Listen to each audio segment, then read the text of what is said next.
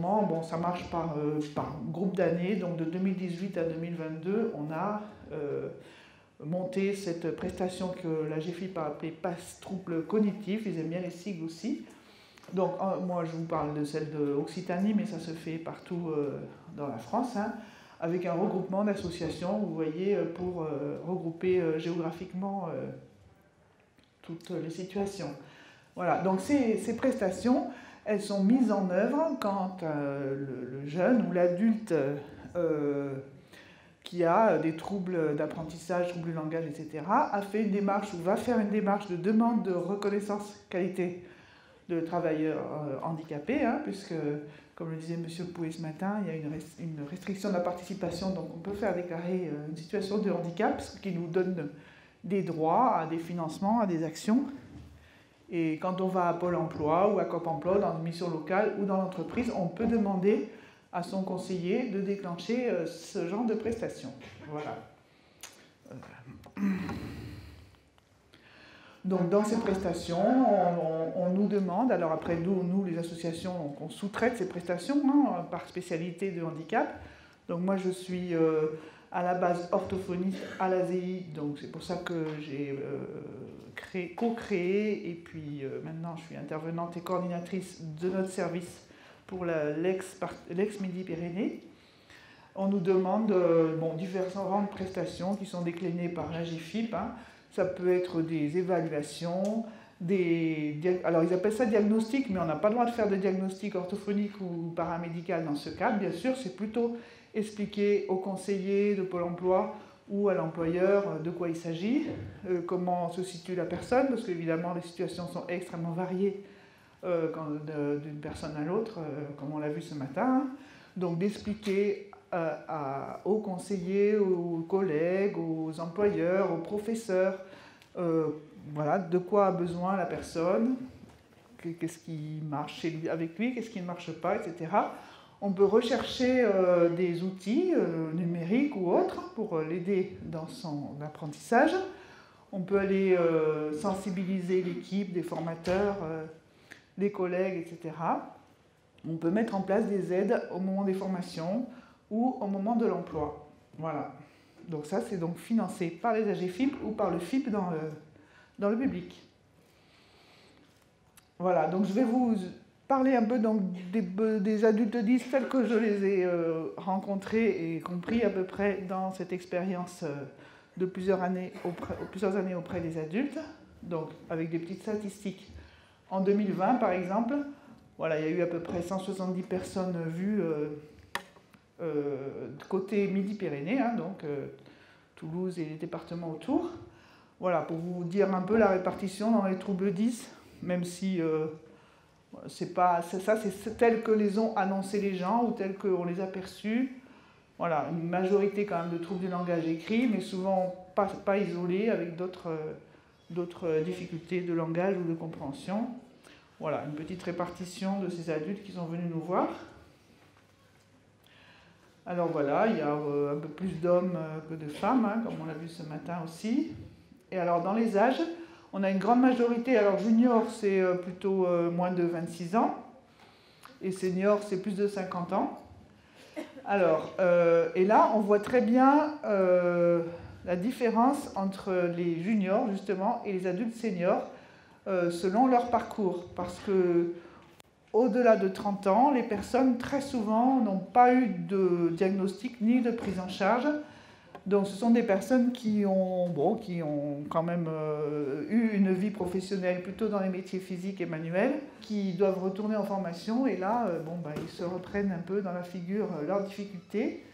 Et bon, c'est à ce moment-là qu'ils ont une RQTH donc pour le, problème physique ou moteur, le problème de santé, et leur conseiller, bon, s'ils connaissent notre, notre prestation, nous les adressent parce qu'ils disent eh ben, j'ai raté les, sélections d'entrée dans telle formation ou euh, j'ai pas pu être pris parce que ma lettre de motivation était pleine d'erreurs. Bon. Voilà, donc ceux-là, très souvent, ils n'ont pas eu d'explication de, leurs troubles. Donc vous imaginez euh, euh, voilà, ils, ont grandi en se vivant comme nuls, cancres, et puis ils ont fait quand même leur vie, mais ils doivent retourner en formation et là c'est un peu la panique. Et donc le problème, c'est que pour faire diagnostiquer ces troubles, déjà pour les enfants c'est long, mais pour les adultes c'est pratiquement impossible euh, médicalement. Donc nous on fait euh, quand même une explication, une petite évaluation, hein, mais on ne peut pas poser de diagnostic médical. Et pour les plus jeunes, euh, les plus jeunes arrivent maintenant avec des reconnaissances handicap en raison des troubles 10, que ce soit des troubles du langage sévère ou des troubles de l'écrit même, ou des dyspraxies, etc. Hein. Donc eux, euh, ils savent qu'ils ont ça, mais souvent ils ne savent pas bien ce que c'est quand même.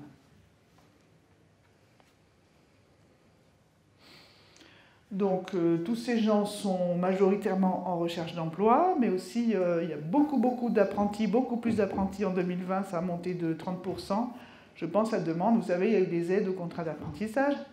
Donc il y a vraiment euh, une grosse euh, augmentation là. Et puis l'apprentissage en alternance quand même euh, de métiers donc plutôt manuels comme il était évoqué ce matin sont quand même une bonne solution pour beaucoup de jeunes avec ces troubles d'apprentissage scolaire. Hein. Donc ils vont beaucoup vers l'apprentissage dans tous les secteurs possibles, très variés, euh, agriculture, informatique, santé, euh, voilà, on peut, et à différents niveaux de, formation, bien sûr. Alors, on a davantage de personnes en CAP qu'en BTS, c'est sûr, mais euh, on peut accompagner à tout niveau de formation, avec évidemment quelqu'un qui a une dyslexie.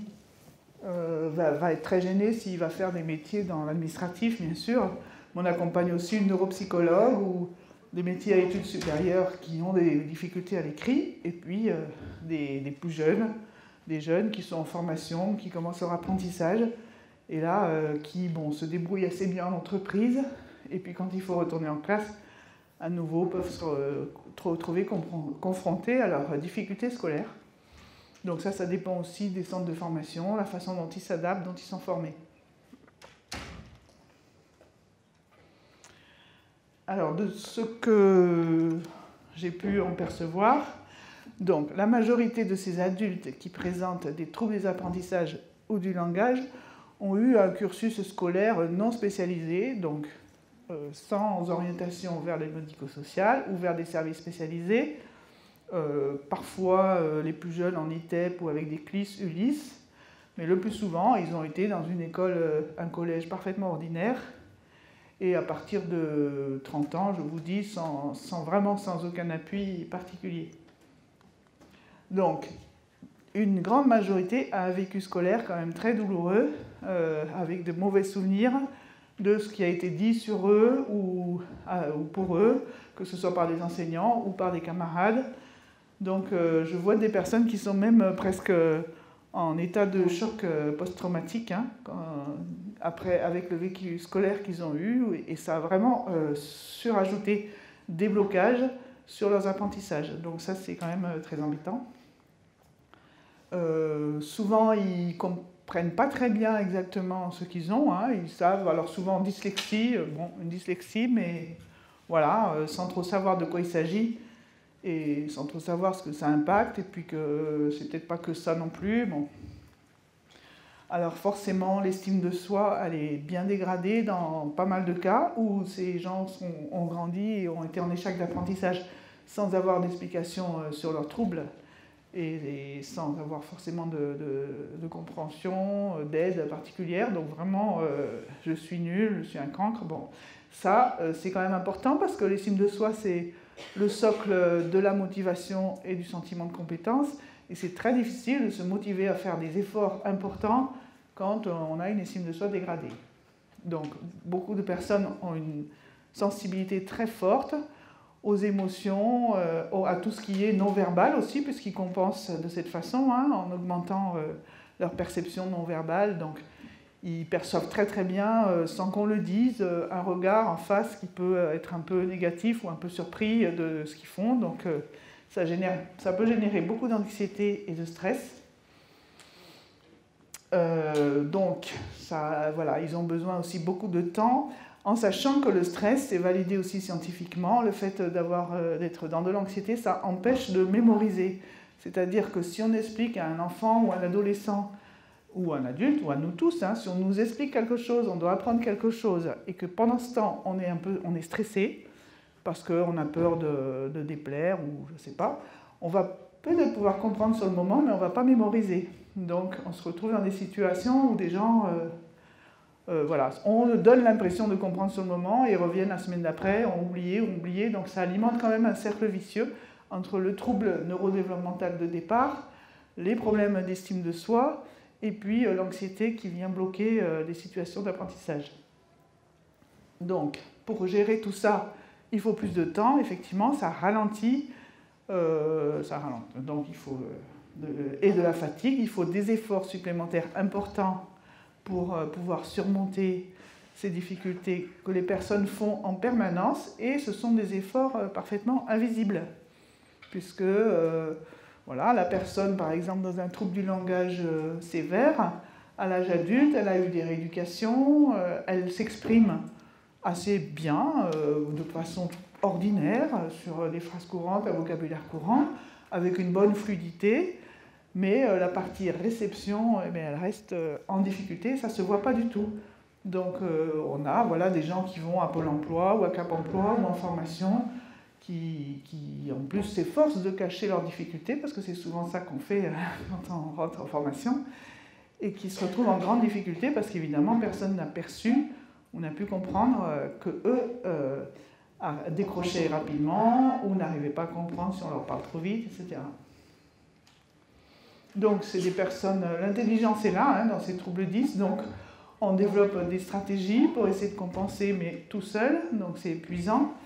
Euh, on développe des stratégies pour essayer de passer un peu inaperçu. Hein. Personne n'a envie de montrer ses faiblesses, c'est tout à fait euh, normal, surtout quand on sait qu'autour de soi on ne va pas bien comprendre.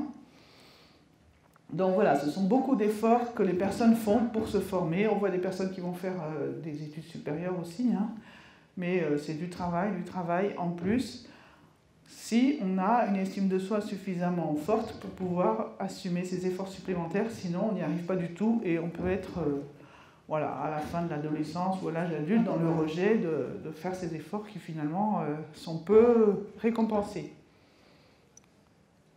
Voilà, mais c'est quand même, on voit quand même des, des belles progressions. Le cerveau, la maturation des cerveaux, c'est jusqu'à 28 ans.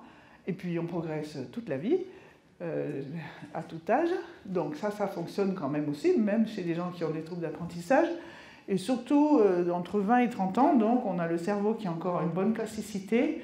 On sort un peu des difficultés euh, de l'adolescence, hein, ou une période de la vie où on n'est pas hyper, hyper motivé pour faire beaucoup d'efforts. Voilà, bon, on a d'autres choses à gérer. Donc une fois qu'on est sorti de cette période, chez les jeunes adultes, quand même, euh, si on arrive à, voilà, à, leur faire sentir qu'ils sont compris et accompagnés, on voit de, belles progressions. Alors pour ce qui est de leurs besoins ou de ce qu'on en a ressenti, hein, euh, sans, euh, en toute modestie, parce que c'est quand même eux les personnes les plus... Comme ça a été dit tout à l'heure, il faut déjà aussi voir avec eux, surtout quand ils sont adultes, même s'ils n'ont pas bien compris euh, leurs leur difficultés, euh, comment ça marche. Ils commencent à déjà bien savoir qu'ils ont besoin de plus de temps, qu'ils auraient besoin qu'on leur donne les cours, etc. Hein. Bon, ils ont quand même besoin d'évaluation et de diagnostic, parce que souvent ça n'a jamais été fait, ou alors ça a été fait il y a longtemps et ils ne se rappellent plus. Donc ça c'est un gros souci parce qu'il manque euh, effectivement des, des, des, personnels médicaux pour les évaluations des troubles 10, surtout chez les adultes les orthophonistes et autres sont un peu submergés par les enfants déjà, donc c'est pas évident.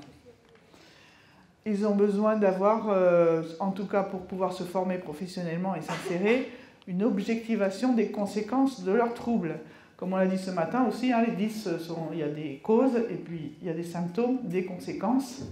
Et là, euh, c'est bien de pouvoir les objectiver parce qu'on peut avoir pour soi-même euh, pas une très très bonne notion de, de voilà, est-ce que je suis très loin de la norme, est-ce que ça va me poser des problèmes, etc. On peut voir des personnes qui sont catastrophées par leur orthographe et complètement détruites parce qu'ils font des erreurs avec bon, un trouble de l'orthographe finalement pas si sévère que ça, mais bon, ils ont, euh, voilà, ils ont reçu ça comme ça.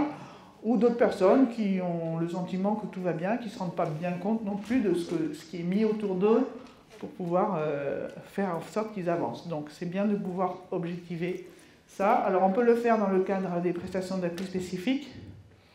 Bon, comme je suis orthophoniste, par exemple, j'ai mon expérience et mes petits outils, mais on ne peut pas faire de bilan dans ce cadre. Hein.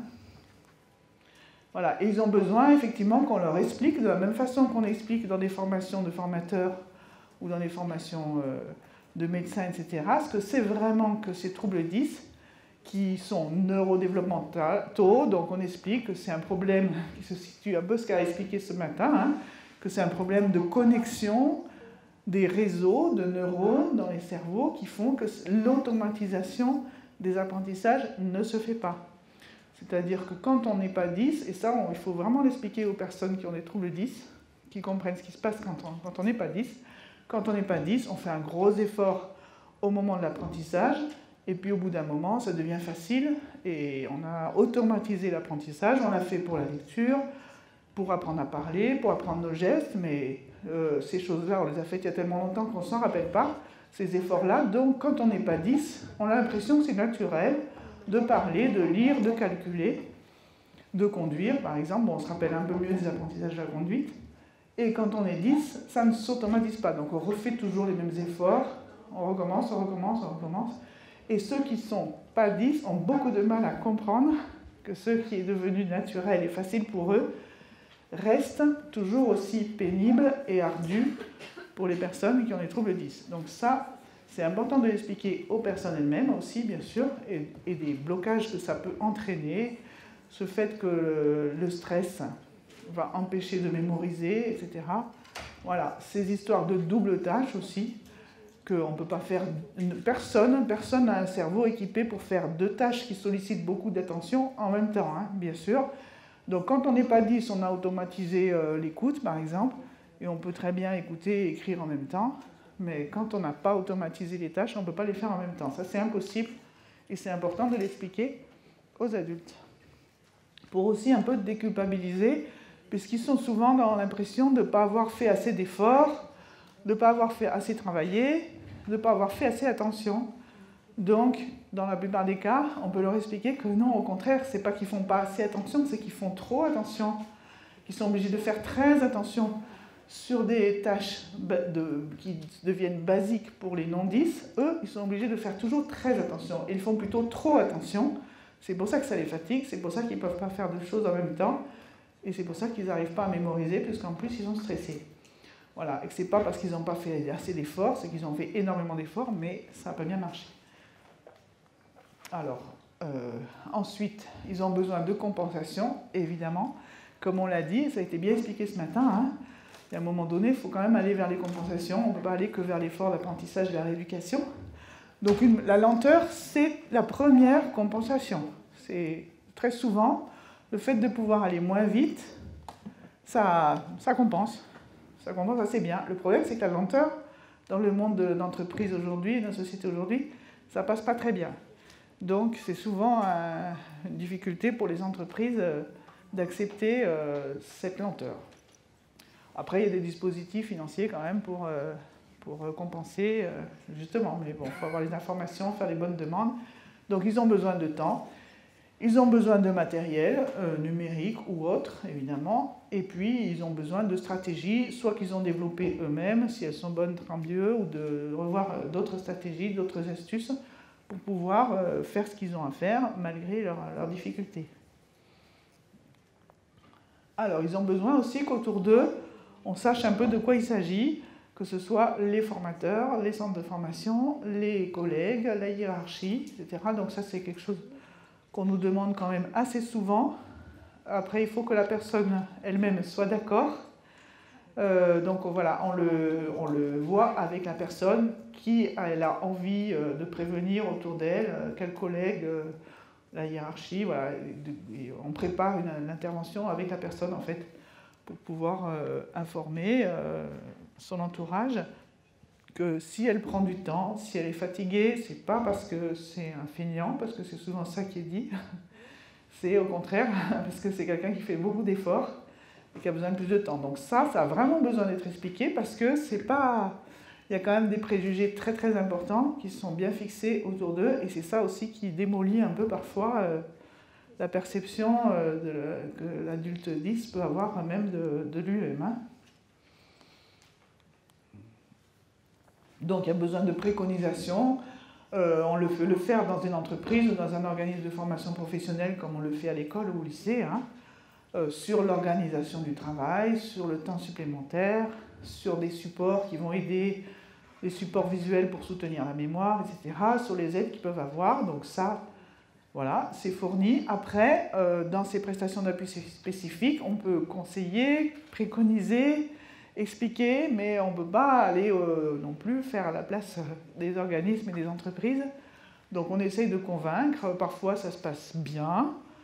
Alors comme quand même les troubles 10, c'est pas si rare que c'est quand même 10% de la population au moins et quand on compte les personnes concernées, les parents, etc., si dans l'entourage de l'entreprise de formation, quelqu'un a un enfant, etc., bon, en général, c'est plus facile. si le patron, par exemple, a un enfant dyslexique, ça va, ça, va plus, voilà, on va mieux comprendre que quelqu'un qui n'a aucune notion de ces difficultés qui peuvent venir du cerveau. Hein, et, voilà. et puis, ils ont besoin d'adaptation, de, alors surtout les supports pédagogiques, ça a été dit, il faut remettre des notes de cours. Il ne faut pas que, les, que ce soit des élèves ou que ce soit des, adultes en formation continue dans un organisme de formation qui ne peut pas prendre des notes. Il faut qu'ils puissent récupérer des notes de cours et il faut que ce support soit adapté. C'est-à-dire que parfois, des formateurs, euh, avec beaucoup de, voilà, de bienveillance, vont donner leurs leur cours, mais s'il y a tellement d'écrits que la personne ne va pas pouvoir s'en servir parce que si elle doit relire tout pour saisir euh, l'essentiel, donc il faut vraiment que ce soit adapter des supports où il y a vraiment l'essentiel à retenir, le mot à retenir, et voilà, sans faire de blabla. Mais c'est difficile parce que, bon, on est dans un pays où la langue française, les belles tournures, les belles phrases sont très valorisées, et que des formateurs, voulant bien faire, vont euh, expliquer beaucoup par écrit. Alors ça convient très bien à peut-être une majorité de leur classe, mais aux quelques-uns euh, ou de leur groupe, mais aux 10 à 20% ont des difficultés d'écrit, il faut faire des choses beaucoup plus brèves. Voilà. Et puis, il peut y avoir aussi besoin d'un accompagnement humain, un tutorat en entreprise, une aide humaine. Alors, il n'y a plus d'AVS ou AVSH hein, quand on est en formation euh, professionnelle, mais euh, dans certains cas, on peut quand même mettre une personne qui va venir reformuler, on appelle aide humaine. Bon. Voilà. Alors surtout, le grand besoin, c'est la formation adaptée. Parce que ces troubles des apprentissages, ces troubles vont impacter essentiellement les apprentissages. Donc à chaque fois qu'on retourne en formation, on peut très bien avoir une vie euh, à peu près ordinaire quand, on a son travail, sa vie de famille, etc., avec une dyslexie ou un trouble de calcul un trouble de langage. Mais dès qu'on se remet en formation, que ce soit pour apprendre un nouveau logiciel dans son entreprise, ou euh, se faire une réorientation, etc., c'est là que les difficultés nous retombent dessus. Donc il faudrait vraiment pouvoir allonger ces temps de formation. Souvent les formations continues, elles sont très denses. Euh, en trois mois, on va apprendre un titre professionnel d'agent de sécurité, par exemple. Agent de sécurité, c'est un métier qui recrute beaucoup, qui n'a pas besoin d'un gros niveau de qualification scolaire. Donc, euh, voilà, des jeunes gens peuvent y aller, certains ont très envie d'aller faire de la sécurité. Mais euh, la formation, elle dure trois mois et il faut euh, s'enquiller tout le règlement, un règlement qui est très sérieux et nécessaire. Hein. Quand on est agent de sécurité, on a intérêt à bien connaître les règles et savoir ce qu'on peut faire et pas faire. Sauf qu'il faut l'apprendre en trois mois. Et que c'est des titres professionnels dans des endroits où les gens n'ont pas encore trop l'habitude de s'adapter. Bon. Donc il faut que ces formations puissent être doublées éventuellement euh, en temps. Il faudrait aussi que dans certains cas, on puisse faire des formations à temps partiel pour pouvoir être sûr de l'apprentissage pendant 2-3 heures dans la journée. Ça suffit bien quand on a un trouble d'apprentissage et faire autre chose et ça marcherait mieux, certainement. Bon, des validations par module, ça se fait déjà. Et puis les supports pédagogiques, comme je vous ai dit, euh, euh, plus adaptés aux personnes euh, donc dyslexiques ou autre chose. Et de toute façon, quand on adapte bien ces supports aux personnes du groupe qui ont le plus de difficultés, euh, en général, ça va bien profiter à tout le monde, à tout le groupe. Hein. Mais on est plutôt habitué, quand on est enseignant, à s'adresser, c'est normal, surtout quand on est en grand groupe, euh, à la moitié du groupe qui suit bien. On va faire les supports pour eux, le plus souvent. Et voilà, donc il, faudrait changer un petit peu euh, ces choses-là. Et bon, c'est vrai que c'est beaucoup de boulot aussi pour les enseignants, donc certains le font. Et finalement, après, une fois que c'est fait, ils sont bien contents parce que ça sert à tout le monde finalement. Voilà, bon, comme ces jeunes sont quand même de mieux en mieux accompagnés, il faut le dire, hein, par, je vous disais, moins de 30 ans, moins de 20 ans, ils ont eu de l'orthophonie, ils ont eu des accompagnements, ils ont eu des aides en classe pour passer. Ils arrivent donc de plus en plus nombreux dans les formations professionnelles, les formations universitaires. Donc il y a quand même, euh, voilà, ça remue beaucoup, ça remue beaucoup euh, tous ces gens qui travaillent dans la formation pour adultes, parce que ça réinterroge toutes les pratiques pédagogiques comme ça l'a fait euh, au niveau de l'école et du lycée. Bon, on voit que y a quand même, c'est pas si évident. Le grand problème, c'est le nombre, le nombre dans la classe, hein, qui fait que pour les enseignants, c'est quand même pas évident. Mais dans la formation pour adultes, souvent, c'est quand même des petits groupes, 10, 12, 15 personnes. Donc, bon, ils sont en train de, de se former, plus ou moins, selon les organismes. Alors, le gros, gros, gros défi de l'entrée de l'âge adulte qui pose beaucoup de problèmes hein, quand on a des troubles d'apprentissage, c'est le code de la route et la, conduite. Euh, alors quand on a un trouble du langage oral écrit, c'est le code qui est extrêmement difficile à apprendre, donc il faut faire euh, plusieurs fois les examens, etc. Et puis quand on a des troubles de coordination, des praxies visio-spatiales, etc., c'est la conduite, évidemment. Donc on voit beaucoup de personnes qui passent des heures euh, à apprendre, qui repassent les examens. Le problème, c'est que les auto-écoles euh, privées, lambda, qu'on voit dans la rue, ne euh, sont pas encore soumises à l'obligation euh, d'adaptation et d'aménagement pour les personnes avec qui ont des handicaps, parce que c'est de, ils sont, de, de l'argent privé, c'est des particuliers qui vont les payer. Mais il y a aussi des organismes qui forment avec de l'argent public ils ont actuellement encore beaucoup de mal à comprendre et à s'adapter. Enfin, en tout cas, dans, ma région, c'est le cas. Je ne sais pas, je parlais avec euh, Maxence tout à l'heure, je ne sais pas s'il est là, des problèmes de permis de conduire. On voit pas mal de gens qui ont envie d'aller faire de la livraison, de la conduite d'engins, etc., qui pourraient le faire, mais bon, ils auraient besoin, pareil, d'une formation plus longue euh, pour cette conduite. Et c'est très, très gênant parce que dans notre région, notamment en Occitanie, euh, il y a des tas de gens qui sont très loin des transports en commun et qui sont bloqués chez eux à cause de ça. Hein. Donc pour aller chercher du boulot, c'est pas évident. Voilà, donc euh, j'ai vu que la FFD euh, formait, enfin il y a des formations qui commencent, il faut les former en masse, les auto-écoles. oui, oui, oui, parce que voilà, et c'est uniquement celles qui sont volontaires, hein, puisqu'il n'y a pas d'obligation pour l'instant, donc il n'y en a pas encore beaucoup, mais ça vient qui se forment à comment, et bon, c'est pas, voilà, comment on fait quand on a euh, des, des, personnes. Euh. Bon, qu'est-ce qu'il me reste comme temps? Ça va être bon. Une minute. Bon, voilà, j'avais quelques exemples, mais. Voilà, bon, des exemples de personnes. Euh, bon, je pense à un, un jeune maraîcher en bio qui s'est installé sur un terrain familial pour cultiver ses légumes. Il a un trouble du langage sévère. Donc avec les légumes, ça va bien. Il est lent, euh, ça, il est lent, euh, mais le rythme des saisons lui convient. Mais vraiment, puis c'est génial. il y a besoin de maraîchage biologique autour des villes, donc il n'y a pas de souci. Le problème pour lui, c'est quand arrive le, approche le samedi et qu'il va aller falloir faire les livraisons. Alors il stresse, il stresse dès le jeudi soir en pensant à voilà à s'organiser, à faire la planification, à s'organiser les cajots de, les sacs de légumes, etc. À l'idée de devoir rendre la monnaie. Euh, et il a un gros problème de passage de permis, justement. Donc pour l'instant, ben, c'est le papa ou le grand frère qui, l'aide à transporter ses légumes. Bon, voilà un exemple. Une personne qui a fait une licence pro de gestion, management, santé au travail, avec euh, une dyslexie et dyscalculie, donc grosse travailleuse.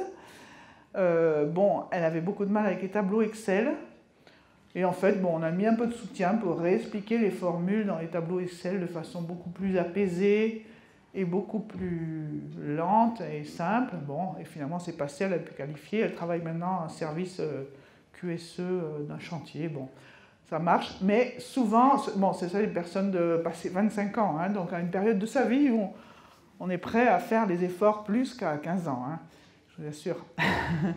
et euh, elle a.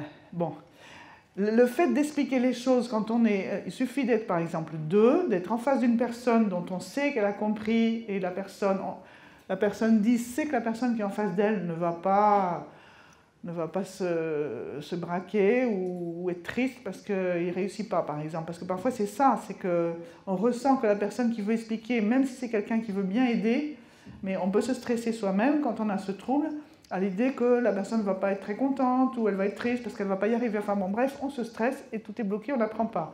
Si on arrive à mettre dans une situation, bon, c'est un peu ce que font les orthophonistes aussi, hein, c'est une situation duel, apaisée, l'enfant, les parents savent que la personne connaît bien le trouble, donc elle ne va pas s'agacer si ça ne marche pas tout de suite. Le fait de baisser le stress en situation d'apprentissage, je vous assure que ça débloque pas mal de situations. Voilà. Euh, j'ai fini. Les avancées technologiques, on en a parlé. Alors, il Madame Cluzel a quand même voulu mettre en place très rapidement une plateforme de prêt de matériel dans tous les handicaps, mais aussi handicap cognitif, euh, pour que justement il y ait une solution entre le moment où on identifie le matériel et le moment où on a pu euh, le financer, l'acheter, etc. Donc c'était en expérimentation cette année ça va être euh, beaucoup plus développé l'année prochaine, donc à travers ces prestations d'appui spécifiques et les cap emploi, notamment Pôle emploi, etc., on peut débloquer du matériel euh, qu'il faut accompagner quand même, comme le disait Laetitia, hein, c'est pas tout d'avoir le matériel, il faut savoir s'en servir. Bon voilà, il y a quand même des choses de plus en plus qui sont faites pour euh, les adultes, les étudiants dyslexiques, c'est loin d'être parfait, c'est certain. Pour ma part, je suis un peu, bon, je remarque qu'il y a beaucoup de choses décrites pour les enfants et il n'y a rien pour les adultes. Merci. Euh, des décrits simples, euh, assez faciles à lire et à comprendre. Donc voilà, j'ai un blog euh, Access Info avec des articles un peu d'actualité, un peu écolo, mais écrits en facile à lire pour des adultes sur des sujets variés. Euh, et puis, comme j'aime bien le papier quand même, le tout numérique, c'est bon. Voilà, j'ai ma petite auto-édition, mais je fais ça euh, euh, amateur. Voilà, il y en a quelques-uns, vous la regardez, mais voilà, si jamais un, éditeur avait envie tout d'un coup, voilà, ou un bibliothécaire, bon, voilà. Bon, voilà, je, trouve qu'il n'y a pas assez d'écrits pour des. Et je vois beaucoup d'adultes qui ont envie de lire, mais sortis de la lecture enfantine, dès qu'ils vont même littérature adolescent, adulte, on va tout de suite vers euh, des phrases complexes, un vocabulaire complet, des écrits tout petits, etc., des gros bouquins. Donc c'est très décourageant quand on doit faire de gros efforts pour lire. Donc voilà, je contribue avec des petites choses. Voilà, vous avez mon mail. Et je crois que c'est tout, j'ai parlé vite, mais...